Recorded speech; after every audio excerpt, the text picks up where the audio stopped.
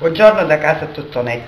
Oggi vi faremo vedere come preparare la ghirlanda pasquale, un dolce semplice, genuino che piace tanto ai bambini e da mettere anche in tavola come centro tavola di Pasqua. Prima di tutto che cosa occorre? Della pasta frolla già impastata, la cui ricetta trovate anche su casa Tuttonet, delle uova possibilmente fresche, dei mm, mm, palline colorate dai colori vivaci, di zucchero, poi granella di zucchero e ehm, cioccolato fondente grattugiato in parte finemente e in parte a pezzetti. Vediamo è un, ovviamente una teglia imburrata e infarinata. Come procedere? La pasta frolla in due parti. In questo modo. Poi incorporiamo cioccolato. E lo lavoriamo.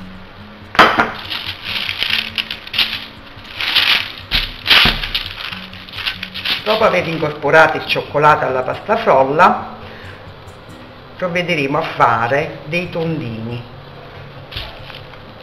Lavoriamo velocemente con le mani prima che il burro si sciolga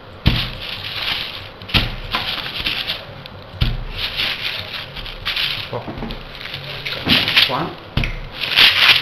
Bianche meglio il tavolo. Ecco in questo modo. Non troppo spessi e né troppo sottili. E facciamo un primo giro nel vuoto manca un poco, le aggiungeremo.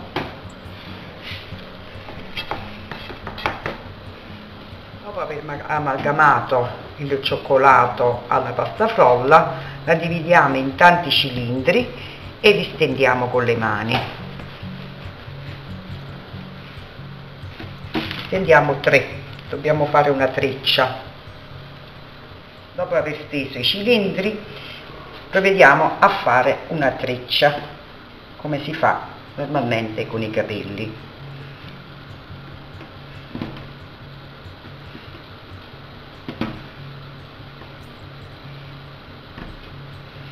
La freccia la metteremo in una teglia imburrata, infarinata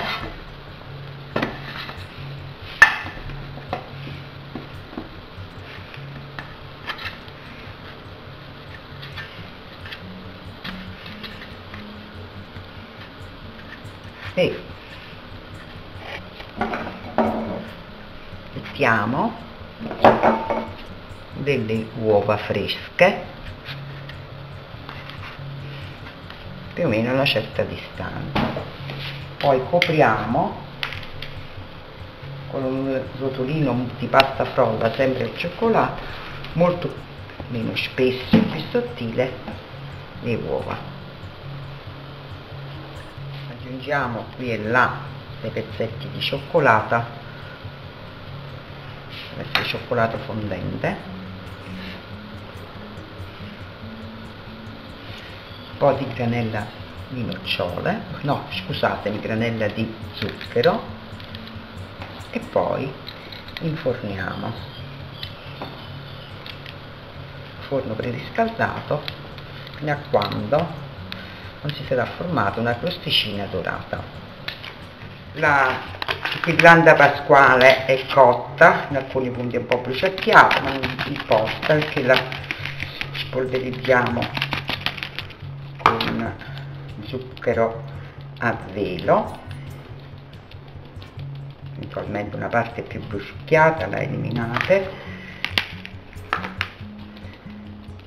dopodiché la decoriamo con ovetti di cioccolata colorati